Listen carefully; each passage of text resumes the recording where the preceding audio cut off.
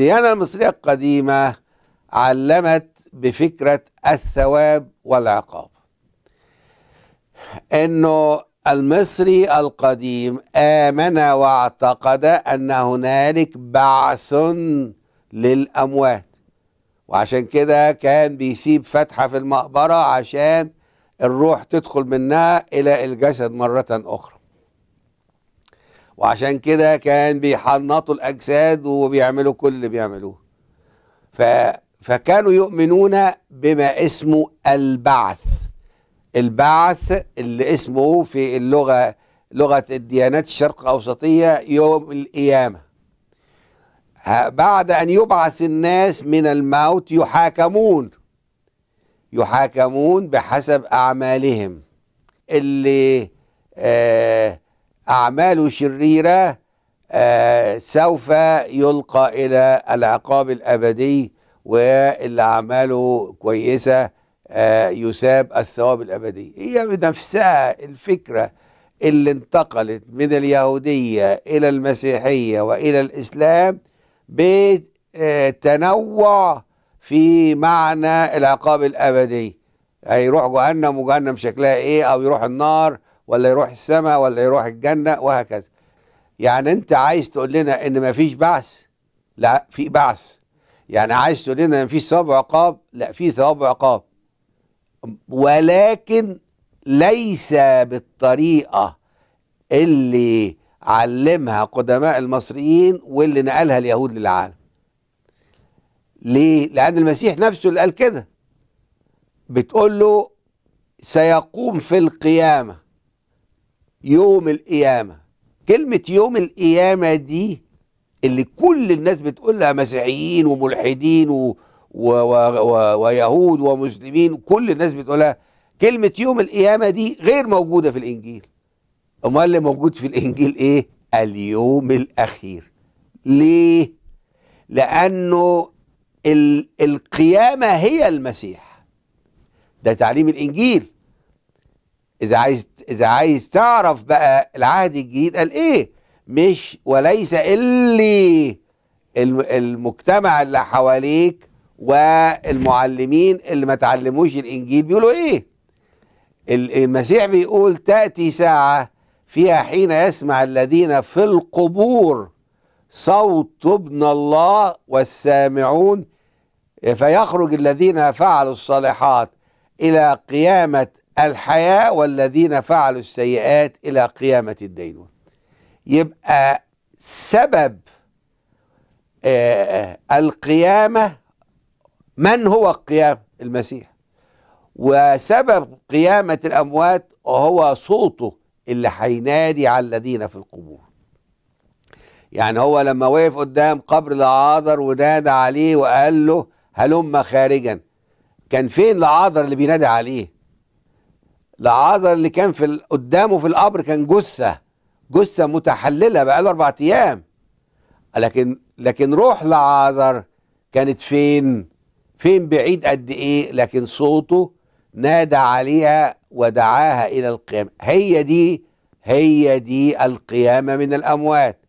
أنه هو الذي يهب قوة الحياة فتقوم الأجساد وتعود الأرواح بقيامة وتحصل القيام. خلي بالك إنه ما قالش زي ما قال قدامى المصريين إنه يا إما هيقوم هيتحاسب. ده هو قال يا إما هيقوم قيامة الحياة يا إما هيقوم قيامة الدينون الموضوع مجزوم منتهي. أنا بقول لك التعليم المسيحي بغض النظر عن قدماء المصريين قالوا إيه؟ أو آه غير المسيحية من الديانات قالت إيه؟ ده التعليم المسيحي. فاذا هو صانع القيامة وصوته هو سبب القيامة والحياة اللي فيه هي سبب القيامة والقيامة من الأموات زي ما لسه قايل أهو هتكون يا إما يقوموا للحياة يا إما يقوموا للدينون يقوموا للحياة يعني يقوموا في الحياة الأبدية ويحيوا مع الله حياة الفرح الأبدي.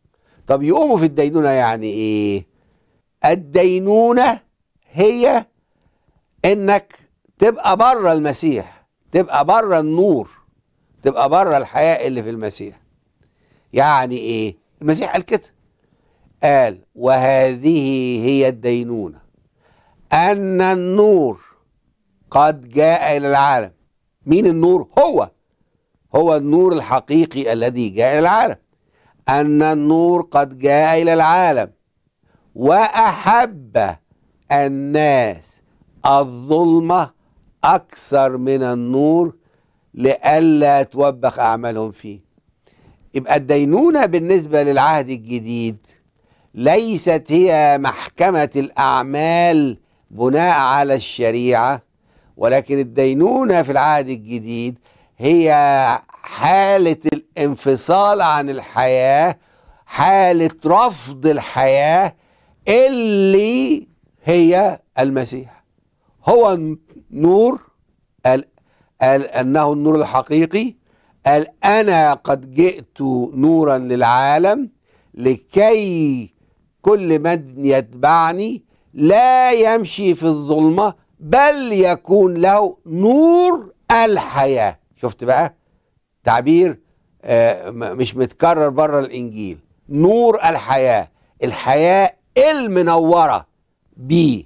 لأن هو هو عاطي هذه الحياة وهو النور. فدي اسمها الحياة المنورة وليست الحياة المظلمة فإذا اللي, اللي حياته مظلمة لم يدخل النور إليه ولا هو في النور. ومن ثم فهو في الدينونة. آدي الدينونة. يعني إيه الناس أحبت الظلمة؟ يعني حبت الخطية. يعني حبت الشهوات. يعني حبت أعمال إبليس. حبت أعمال الشر. حبت شهوات الشر. بدل ما تحب أن تكون في النور وفي الحياة الأبدية. وعليه. فدلوقتي يقول لك آه غضب ربنا. غضب الله في العهد الجديد معناه إنه بره حياة الله. أدي معنى أدي معنى الغضب. إنه انه إن إن حياة الله ومحبة الله هو آه خرج منها فصار محتجب عنه. طب ليه يا رب حاجب وجهك عني؟ ومش هو اللي حجب وجهه ده انت اللي احتجبت عن وجهه.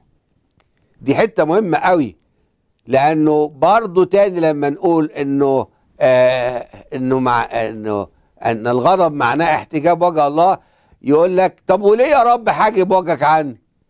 هو مش هو اللي حاجب وجهه عنك ده انت اللي محتجب عن وجهه.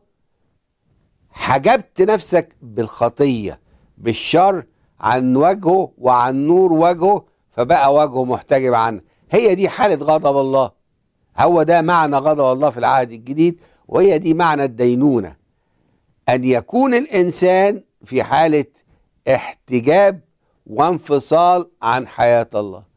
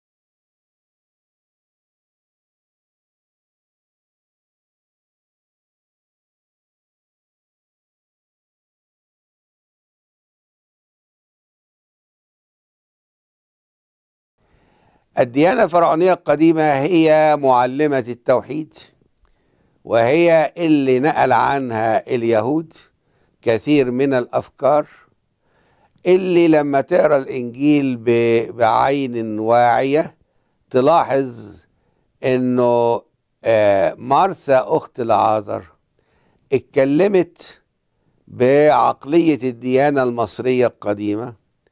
وقالت للمسيح أنا أعلم أنه سيقوم في آه، يوم القيامة في القيامة. لا أنا هو القيامة أدي الفرق بين الديانة المصرية القديمة وما تسرب منها إلى اليهودية ومن اليهودية إلى باقي الديانات الشرق أوسطية وأيضا إلى بعض المسيحيين وبين المسيحية إيه بقى؟ يبقى المسألة بمنتهى البساطة دلوقتي هل الله بيعاقب الناس. بيدين الناس وبيعاقبها وبيضرب فيها ويكسر فيها عشان هم أشرار ما هم مش محتاجين لسه ضرب ولكن هم في الدينونة وهم في الموت وهم تحت سلطان إبليس طالما انهم خارج النور وخارج حياة الله.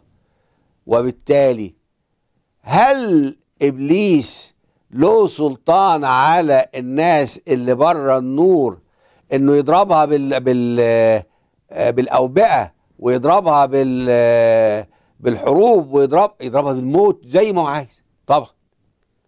ولكن هل لو أنا في الحياة متحد بالحياة اللي في المسيح. هل إبليس له سلطان عليا يضربني؟ الإجابة لا. ليه بقى؟ لأن النور اللي سكن فيا هو اللي هيحرقه مش هو اللي هيضربني. لو كان نور المسيح الحقيقي هو سكن فيا بالمحبة سكن في أفكاري بالقداسة سكن في جسدي بالطهارة سكن في قلبي بالغفران والمحبة. لو كان النور سكن فيا ما تقوليش آه يسوع في قلبي وانت تكره أخوك. ما تقوليش يسوع في قلبي وانت في أفكارك آه على طول مع الروح النجس ومع الشهوات. تضحكش على روحك. إلا إذا كنت عايز تضحك على روحك أنت حر. ما تقوليش أنا ابن لله وانت بتتشامخ على أخوك وبتتكبر على الله ومش عاجباك طرق الله. فسكن في قلبي يبقى ليها مردود حقيقي. مردود حقيقي إن فكرك بيقول إن النور في فكرك ومحبتك وقلبك وحياتك وسلوكك وأعمالك ومن جوه ومن بره بتقول إنه النور ساكن فيك إن المسيح ساكن فيك. يبقى لما يكون النور الحقيقي اللي هو المسيح يسوع ربنا ساكن فيك يبقى إبليس بدل ما إبليس يضربك النور اللي جواك هو اللي يحرقه وهو اللي يبطله. يبقى هل آه الله هو الذي آه يجلب الغضب والضربات على الناس؟ الإجابة إبليس هو الذي يجلب الغضب والضربات. هل الله آه يستطيع أن يتدخل؟ أو متدخل زي ما شرحت لك. بعت لك النور الحقيقي ابنه الوحيد عشان يسكن فيك. أعمل إيه؟ لسه قايل لك تعمل إيه؟ النور يسكن فيك ويملأ كيانك فتصير فعلا بدل ما إبليس هو اللي يقدر يضربك بكل الضربات يا النور الحقيقي الذي يسكن فيك هو اللي يحرق إبليس ويصير لك نجاة في يوم الشر ويصير لك غلبة على الخطية ويصير لك غلبة بالحياة الأبدية على الموت والرب يكملكم ويثبتكم ويساعدكم إنكم تثبتوا في حقه وفي محبته وتغلبوا وتنتصروا وتنجوا. و آه، آه، بهذا في هذه الفقرة ونواصل في الفقرات القادمة. الإجابة على باقي الأسئلة وليكن الرب مع جميعكم.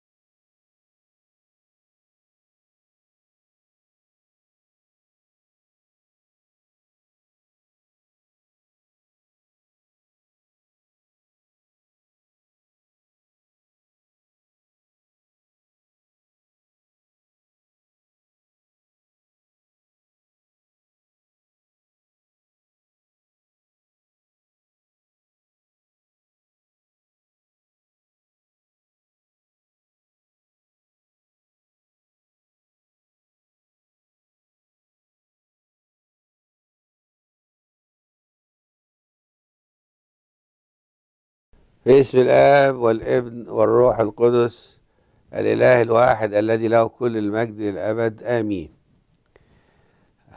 الآن نحن في مواجهة مع سؤال آخر بخصوص آه وباء آه كورونا أو كوفيد 19